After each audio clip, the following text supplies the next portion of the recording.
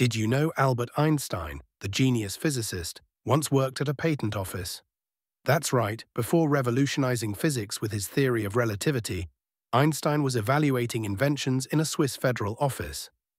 In 1902, he began working at the Swiss Patent Office in Bern as a technical expert, third class. During his time there, he spent his free hours developing some of the most groundbreaking ideas that would change our understanding of the universe. Einstein's job involved him reviewing other people's creations, but his mind was always busy crafting his own path-breaking theories. Can you imagine the world's most brilliant mind sitting in an office full of papers, pondering the universe? It was here that he honed his ability to visualize complex problems, a skill that helped him solve the mysteries of space and time. By 1905, a year now famously known as the Annus Mirabilis, or Miracle Year, Einstein had published four revolutionary papers, including the one that introduced the theory of relativity.